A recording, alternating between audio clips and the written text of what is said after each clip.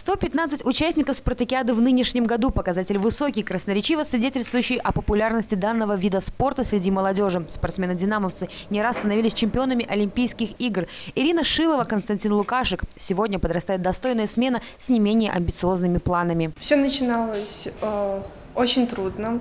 Э, было много трудностей, но я совсем справилась. Сейчас, на данный момент, я кандидат мастера спорта.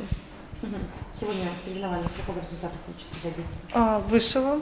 А, Поставить на всех упражнениях свои личные рекорды, чтобы в будущем их побить. Технический вид спорта подразумевает выдержку и сильный характер. Результаты стрельбы всегда непредсказуемы. Удача улыбается только тем, кто готов показать свои умения в самых экстремальных условиях. Фактор волнений играет большую роль. Спортсменов-динамовцев, обучающихся сегодня навыкам полевой стрельбы, немало, и все они ставят перед собой высокую планку. В Брестской спортивной детско-юношеской школе Олимпийского резерва сегодня более сотни ребят овладевают мастерством. Руководство над ними осуществляет четыре титулованных тренера. Много лет юные стрелки занимают призовые места на республиканской спартакиаде. Улыбнется ли им удача в нынешнем году, покажут, конечно, итоги соревнований. Во всяком случае, каждый из участников вынесет для себя новый урок. А что, как не опыт, приближает спортсмена к пьедесталу, дает ему силы и стимул идти вперед. Республиканская спартакиада по полевой стрельбе приурочена к 94-й годовщине со дня образования общества «Динамо», что значительно прибавляло ответственности за результат. Соревновательный период – это подготовка, подготовка к каким-то более серьезным стартам,